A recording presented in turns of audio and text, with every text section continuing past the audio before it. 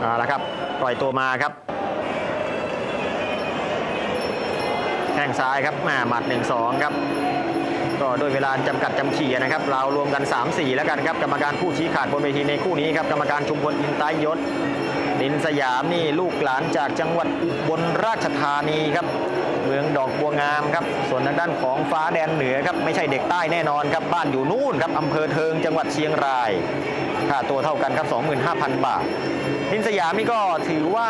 หายไปนานนะครับ กลับมาหายใจได้ไฟสองไฟแล้วครับ ฟ้าแดนเหนือมาวันนี้รูปร่างสูงยาวครับขวาหลุดครับ เดินเข้าหาครับดินสยามครับมวยรุ่นพี่เดินเข้าหาครับดินสยามครับแข้งขวาครับ จับได้โยนเข่าซ้ายครับ ตีเข่าซ้ายครับนินสยามกรรมการชุมพลบอกว่าอย่าเกาะเชือกอย่าเกาะเชือกตีขวาครับโมแหม่มวยเตี้ยกว่าพยายามจะขอสู้ในโยกเข้าไปครับนินสยามครับทีมงานของเสียเตลำไซครับสั่งลุยแล้วครับแข้งขวาอ้าวแทงเข่าขวามาครับอ้าวตีเข่าซ้ายอ่า เกี่ยวเชือกไม่ได้นะครับ นักมวยครับก็พยายามหน่อยละกันครับ กรรมการเตือนมันจะเสียหาย ถ้าเกิดรู้ว่ามันเสียหายก็อย่าไปเกี่ยว อาวุธทำได้ก็จริง แต่ว่าลักษณะการเอาเปรียบคู่ต่อสู้นี่ จริงๆ แล้วแฟนเซียนมวยบนล็อกเขาก็มองละเอียดนะครับ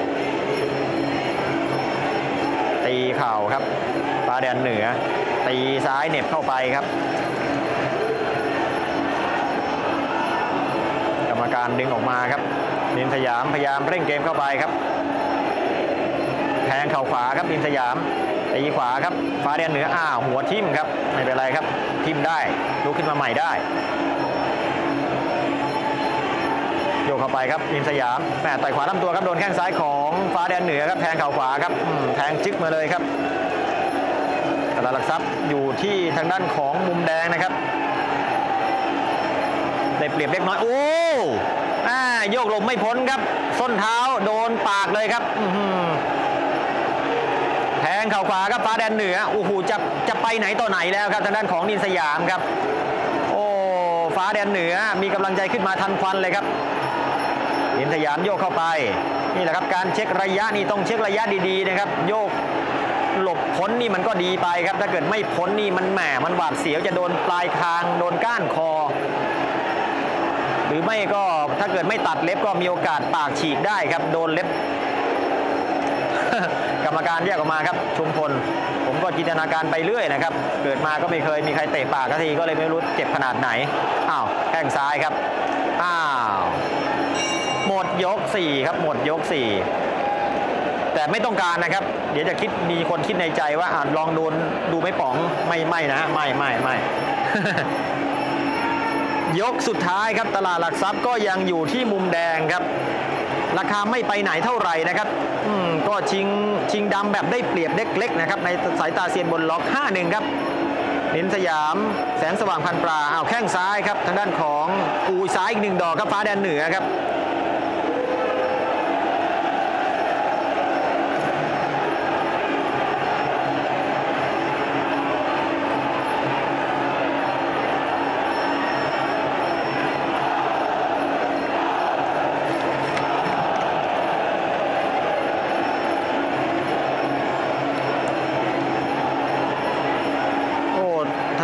ินสยามก็ไม่เข้านะครับ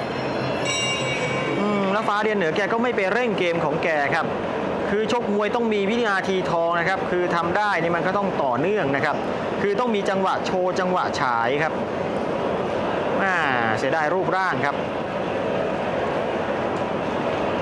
อะไม่เป็นไรครับไม่เป็นไรให้กำลังใจกันต่อไปแล้วกันอายุยังน้อยนะครับ ถือว่าอายุยังน้อยยังมีโอกาสพัฒนาฝีมือไปได้อีกเยอะทีเดียวนะครับ